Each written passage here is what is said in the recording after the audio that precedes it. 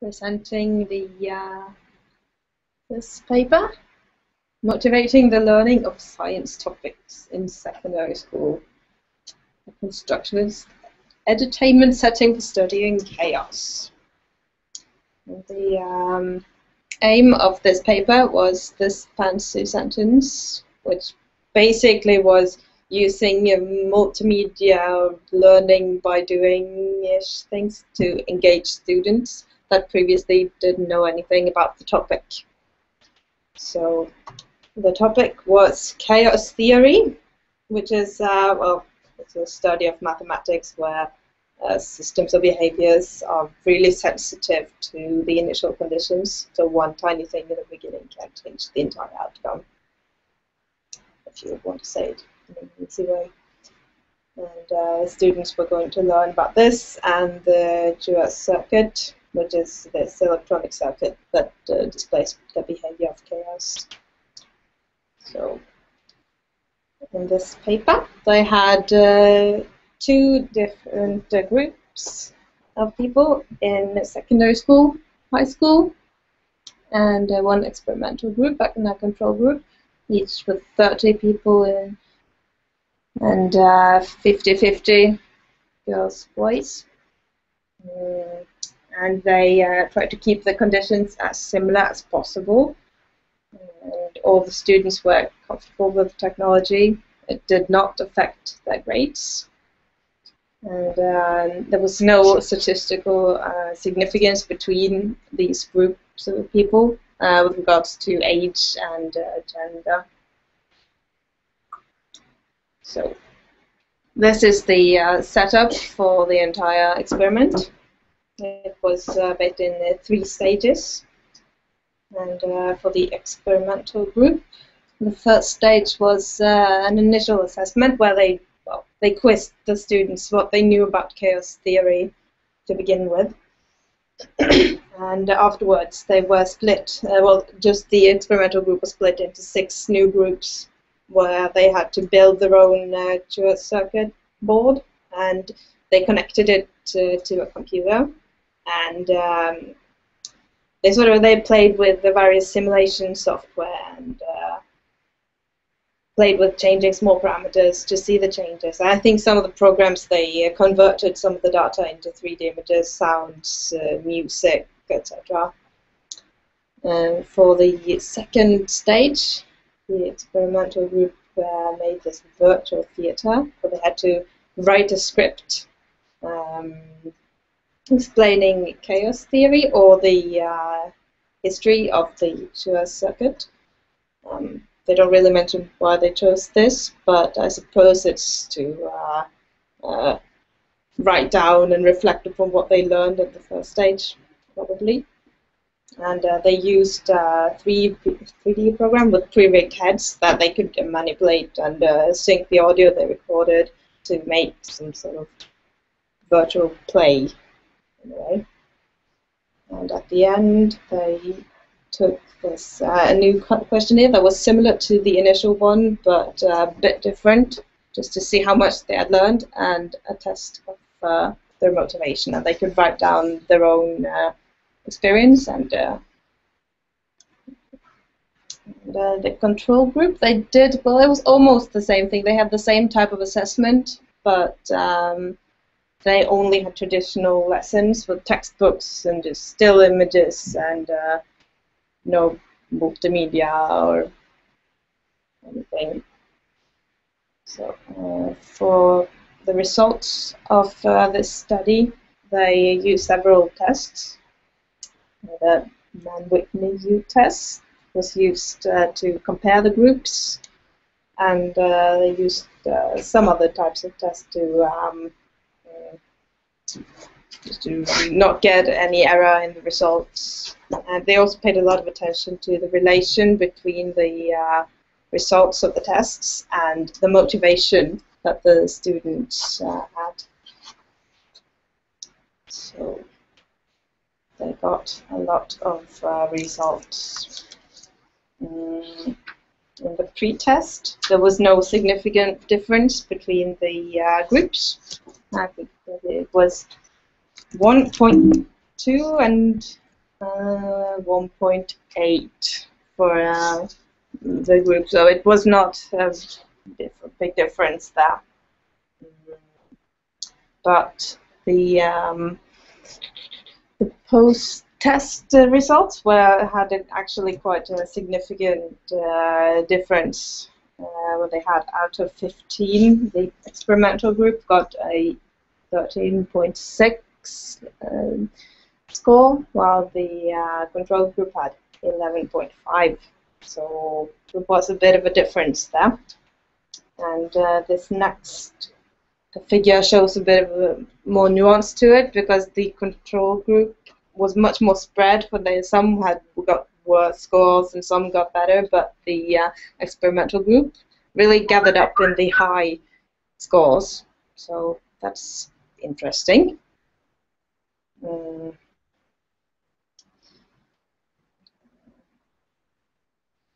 so they were pretty interested in finding the relationship between motivation and learning.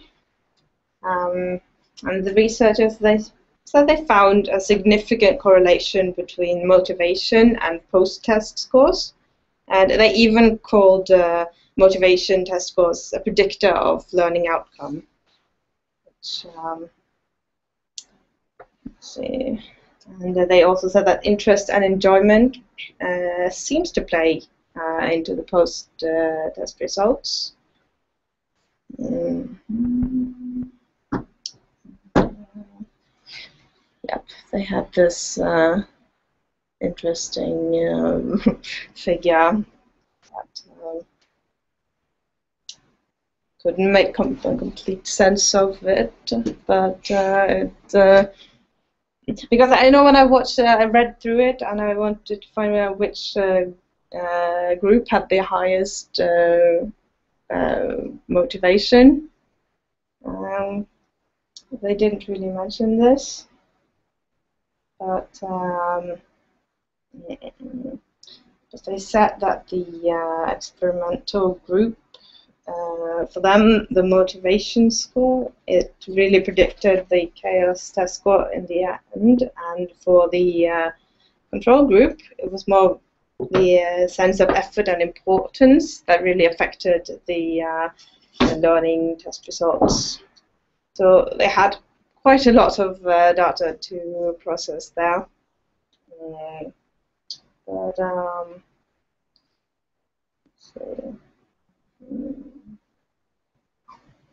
and they also had a lot included some qualitative data because the students they could write down uh, their uh, experience, good and bad, and um, seemed like the experimental group really liked it. They had yeah, they said some of these things that they enjoyed it, got a lot of information.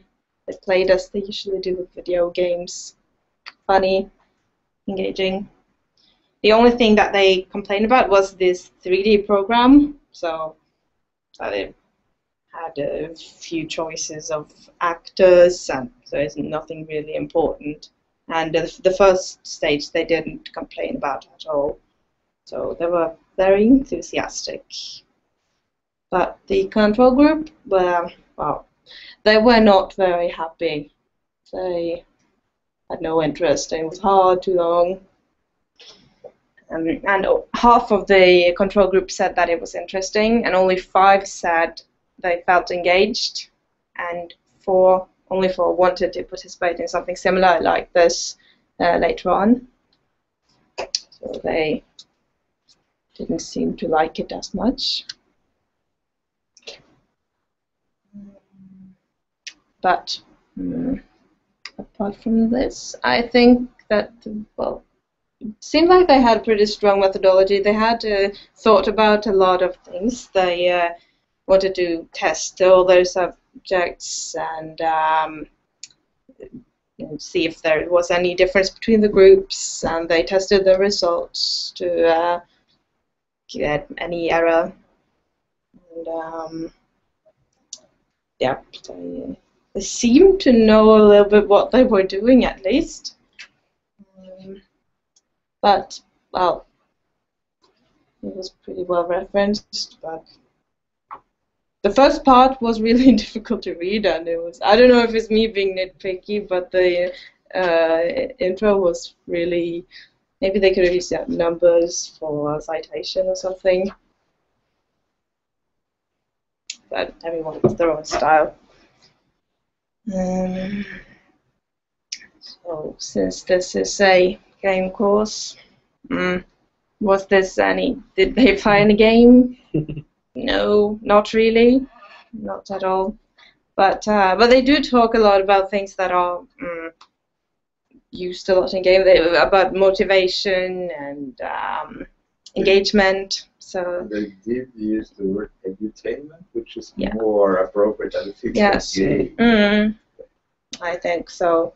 And uh, they only mention games. Well, they cite some game, video game articles, and uh, apart from the student saying that it was like a guy was playing a video game or something, it's never mentioned. So but it, I suppose it can be useful for um, people who want to make games for education, uh, just to see how um, um, motivation can affect results.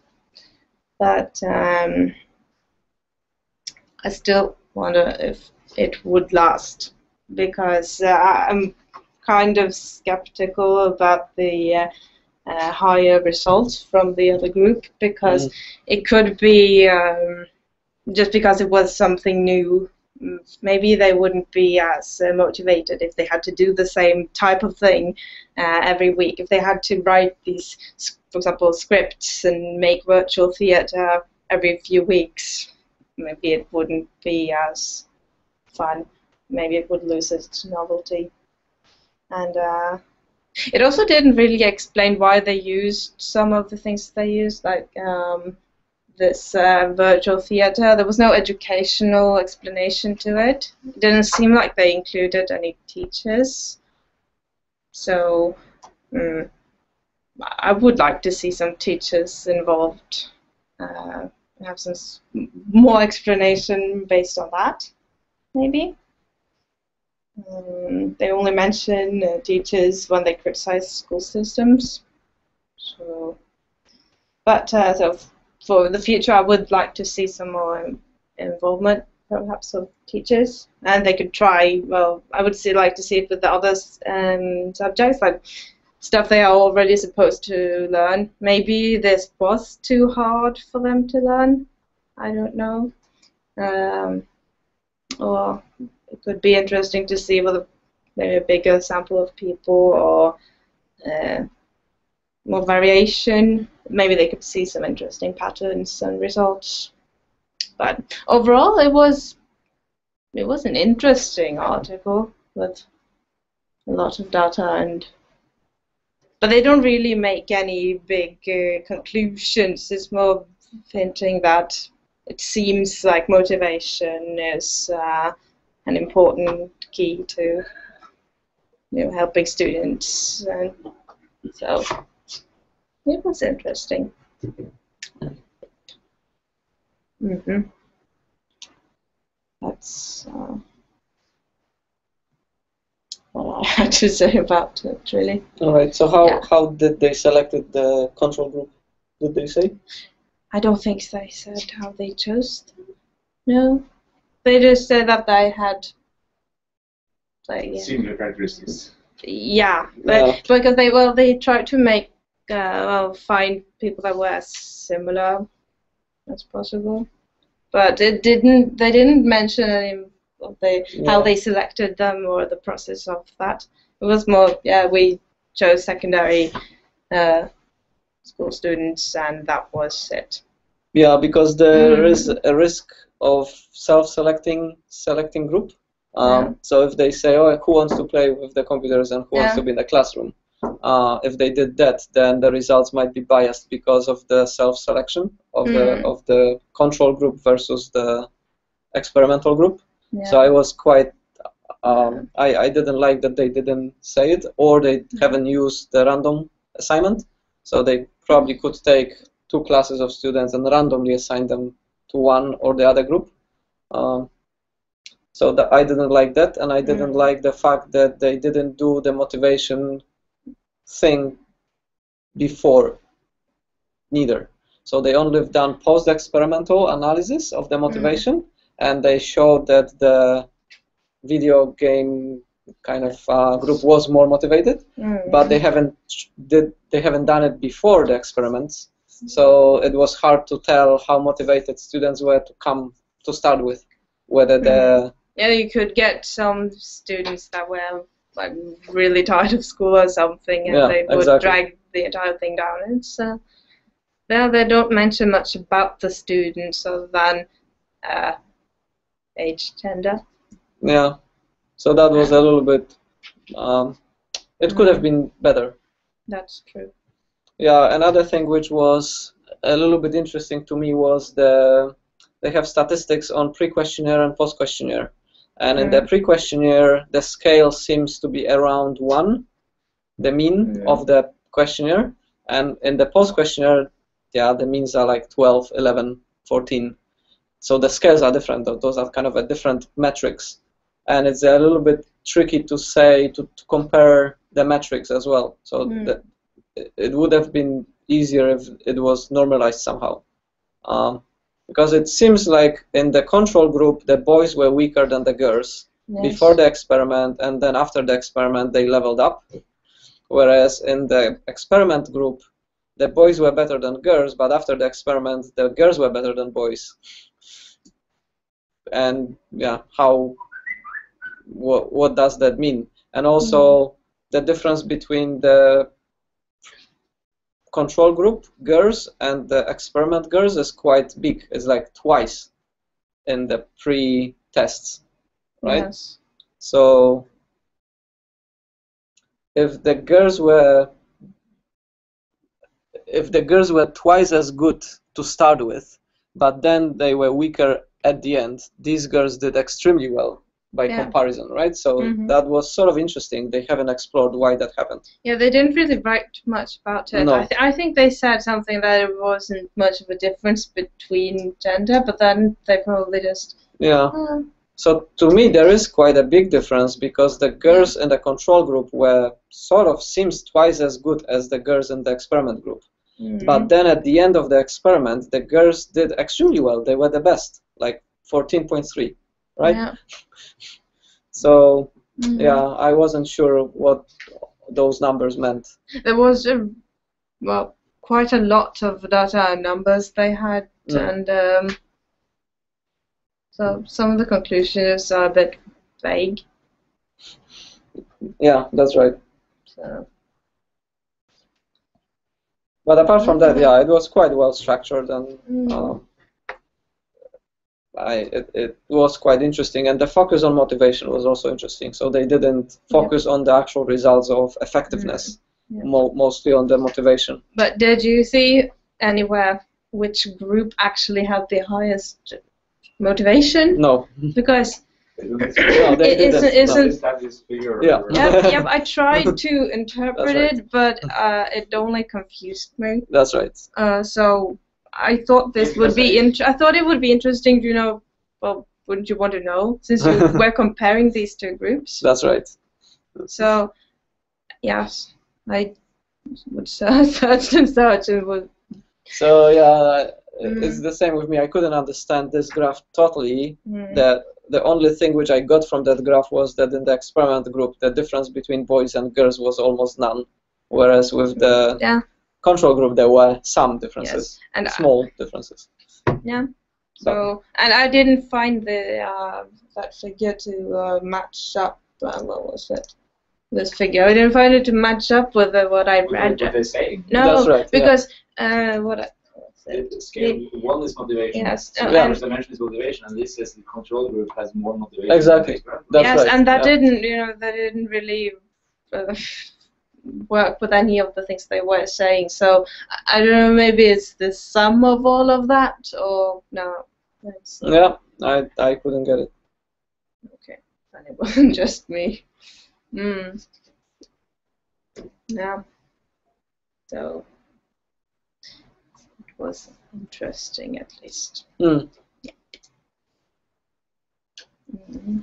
Yeah, compared to some other education setups which we read last week about, this one had a definite path where the traditional lessons were substituted with the edutainment session. So that that was sort of a clear. And they were, uh, uh as, as far as the writing at least, they were trying to make sure that the two groups had the same resources available. So they had both six hours mm-hmm. for either the practical work or going to lectures. So at least they were trying to have the same efforts on, the input side and measure everything. So yeah. Mm-hmm. All right. Uh, can you go on? Uh, can you display the fronter fronter page with the question, please?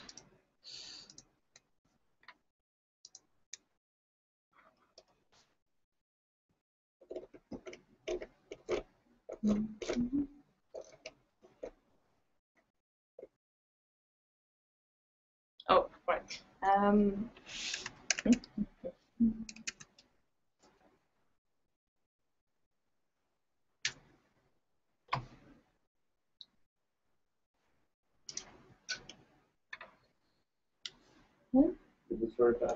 No, it's this one.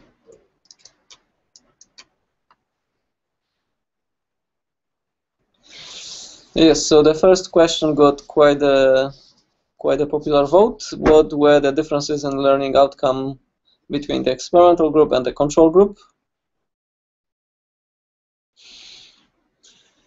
It's hard to say. It's hard to say. uh, they did collected some questionnaire um, data, but it's actually not possible to answer that question uh, from the article. I don't think. Mm. Um, it's a good question, but it points more of a weakness in article than we can answer it, I think. What are some of the advantages and disadvantages of traditional learning methods compared to the more interactive learning methods described in the paper? So what do you think?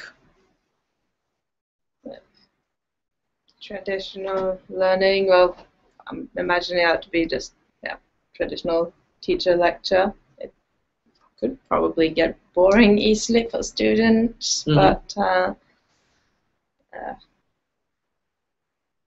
but the interactive learning, it's uh, I suppose it's hard to keep people enga- engaged for long, and uh, uh, keep it fun and, and, actually learning yeah the the same things you are supposed to learn. Mm-hmm. Mm.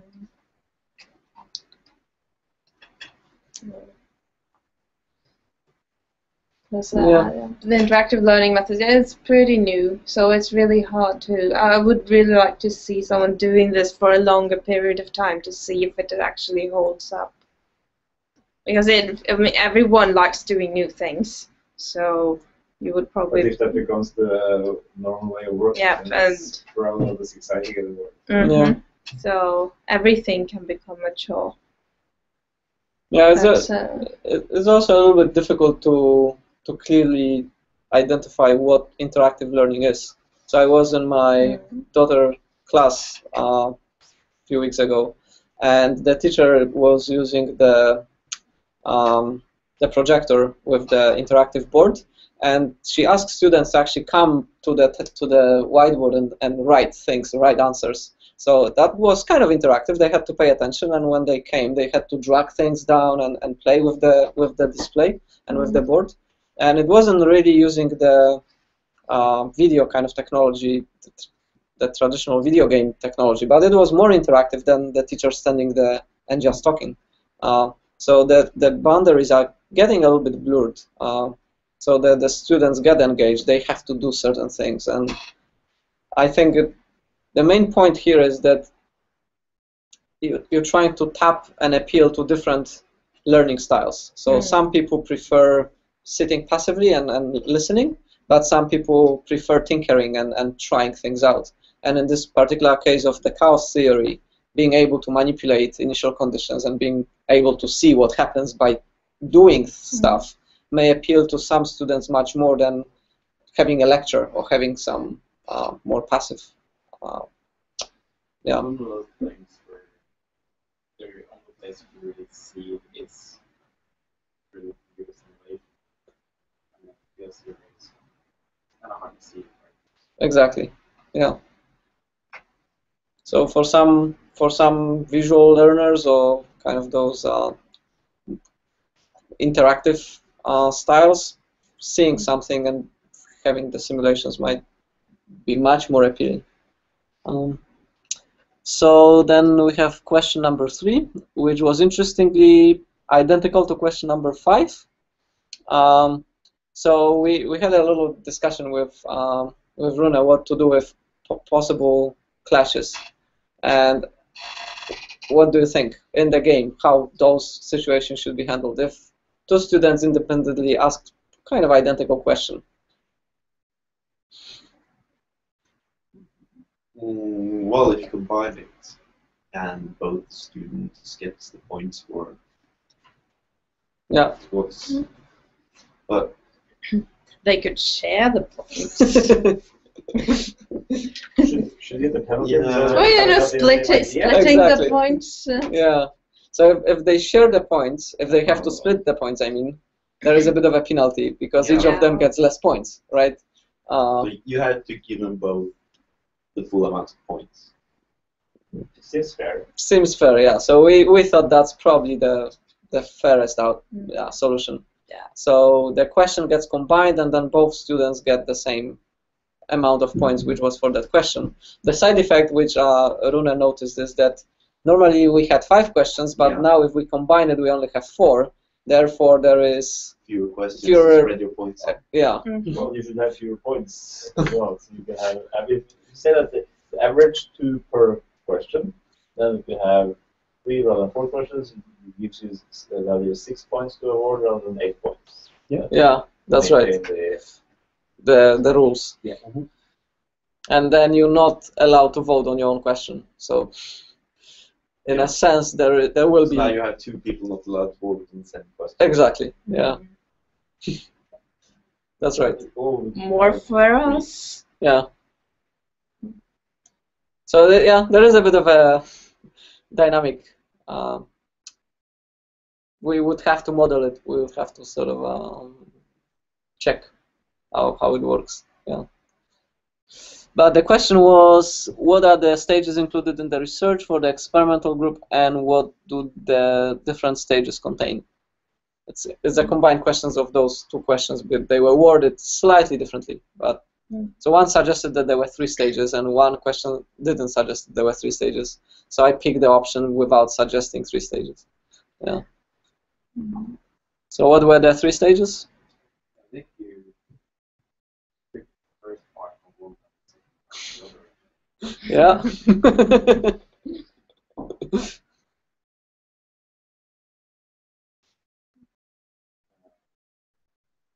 the three stages of that is, uh, for the first stage was to the entry assessment and uh, following that manipulation of the points using certain Mhm.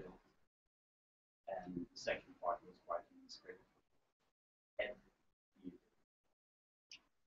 and the third stage was uh, using uh, the knowledge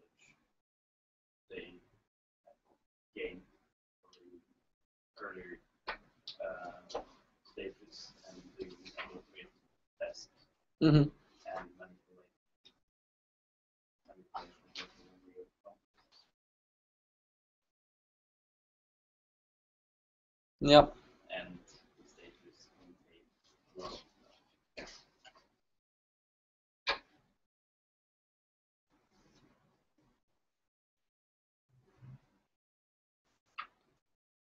I don't know if you can go for it. No. Yeah, there is there is another side effect. So we I was teaching a programming course and we had labs and we had lectures. So on the lectures, we were talking theory a little bit about object-oriented programming and so on. In the labs, the students were programming code, coding stuff. And then we had um, an exam. An exam was only written part, so you actually have to describe what, what you were doing. We also had tests, and in the test, you only have to write code, right? So it was kind of interesting that people who were really good in writing code and doing the assessment by writing code usually were quite unable to explain what they were doing in English. So they could write the proper code and it would be much better than the other group. But if they had an exam question to describe how to do that in English, they couldn't write properly how to do that. they could write the code in Java, but they couldn't write it in English. And the other way around as well. So the students who wrote excellent exams and they described in English how they would write this method were unable to, to write it in Java, right? So here they assess the students who were doing the um, the playing thing the same way as the students who were listening the, the theory. So the practical sort of aspects and the theory aspects were assessed the same way. I was wondering whether by assessing both groups both ways, they would get different results. So for example, letting the students who only had lecture play with the boards now and, and do certain tasks with the boards, how they would do that compared to the students who played with the boards, and then yeah, kind of do the cross examinations of both of those styles. Because we, we observed it like we haven't scientifically proved it, but over the course of three years, it was continuously the same thing. Um, that students who were pretty good coders were not that good coming up with the exam uh, answers, uh, which, yeah, was a bit of an issue. Okay, so the final question was both quantitative and qualitative data have been collected, but quantitative data was more helpful. Why? Quantitative data was just what the students had said mm -hmm. themselves, how they felt like, and it's not you. You can't really extract any data from it. It's That's the not, way it was designed. it was designed as a quantitative study, yeah.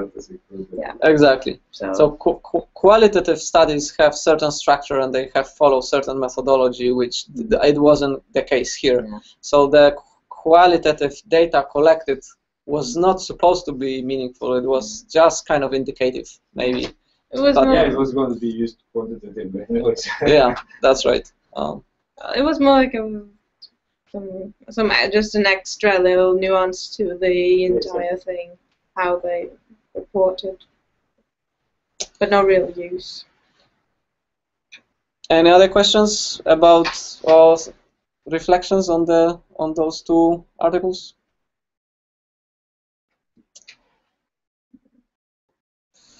All right, so next week we have um, taxonomies. So we will not be asking students to prepare anything. It will be Costas and myself probably uh, talking about the taxonomies we have. You still read the three articles which are posted and ask questions about the articles. Um, I'm not sure what we should do with the answers, um, with the system for answering questions and voting on that. Should I post it on Fronter? Like if we had the system, it would sort of be embedded, but we still don't have the system. so I was a little bit not sure what to do with it. I was hoping to get the system going, but yeah, I got a little bit stuck with the with the backend. Yeah. So I could, what I can do is I can post answers anonymously of the previous two lectures on Fronter, and same as with the questions, you can email me the the points for the answers and I can attach the points to the answers. Maybe that's the, the easiest way to do it. As long as we get them uh, before uh, the late night before the lecture. That's true. So the the answers for these questions can come, you know, after today. We passed the deadline because I was late. Yeah. Yeah, so yeah, let's do that. So I will post the answers for the last week on Fronter, and then you email me the answers for this week, and I will post them on Fronter as well, and then you just do the voting before the next Tuesday. Um, yeah. So, so what will happen now? And I think that uh, I think it's uh, definitely important that we choose projects for next time. I mean, Yeah. what's going to happen now is that uh, the papers that we're going to be presenting will be papers that come up partly because of your. Choices. Yeah.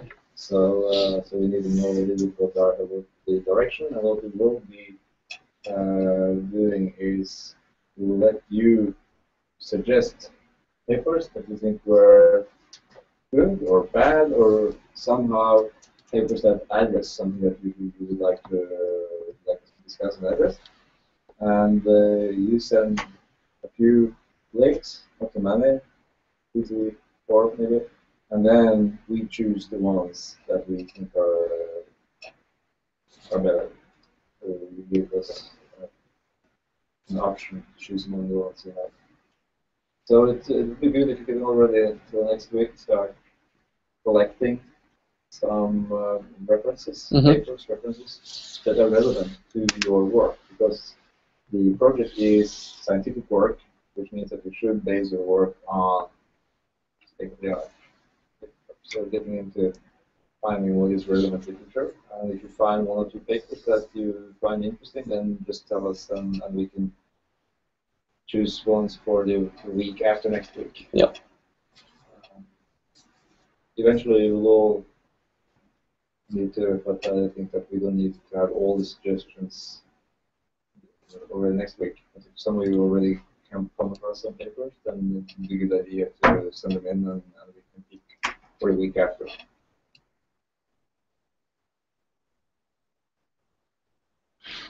I don't know how many paper, papers we'll have time to look up, seeing as we have a deadline that's so close that we First one need to finish. Thursday. This week. Yeah. So, yeah, I, I, I see. I don't know, but, but I mean, scientific work. Yeah. You would like to do some of the basic studying up front, and not as an excuse after. Yeah. for it. So, so whatever you can do, uh, it does make sense to do just a short. Mm. Yeah. But of course, you can you can do a very full study. But you can do a little bit. So At least some background. Yeah. so at least you make sure that you aren't drifting far off from what could be a recommended way. But, but absolutely, yeah. We, I mean, um, uh, we're saying you you should write anyway, uh, not just Yeah. what to do, but also the reflection afterwards. In that Mhm. reflection part, you can do much more of the study and compare your approach to other approaches. So, Yeah. But uh, Mhm. it's really good to